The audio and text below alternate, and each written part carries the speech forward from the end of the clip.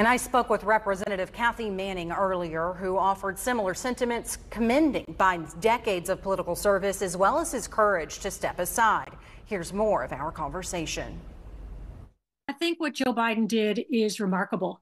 He he is a patriot. This was a very difficult but noble decision where he put the country first.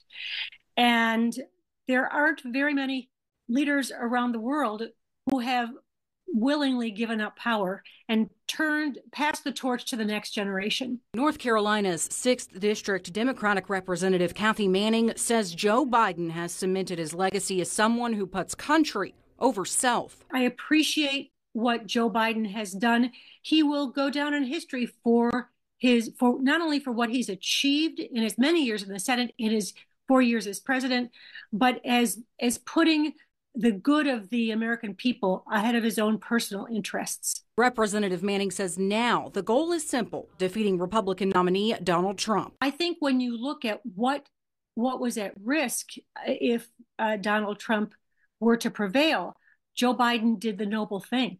Now, she says the Democratic Party will stand behind Kamala Harris. He and she have worked together to pass really historic legislation that's had an enormous positive impact on the people in our district, in North Carolina's 6th District, across North Carolina, and across the country. Manning believes Harris will inspire the next generation and provide a positive path for the Democratic Party to move forward. I know her. I have worked with her.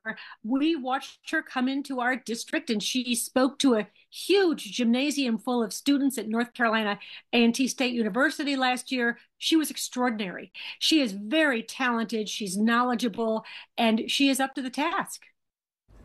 Manning also told me she hopes Governor Roy Cooper will be tagged in as the running mate for vice president, saying the pair would make a strong team.